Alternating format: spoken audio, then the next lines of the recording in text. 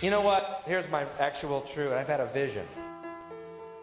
And what it is, is even though this is a world where good men are murdered in their prime and mediocre hacks thrive and proliferate, I've got to share this with you because I love you. And you feel that. You know all that money we spend on nuclear weapons and defense every year? Trillions of dollars, correct? Trillions.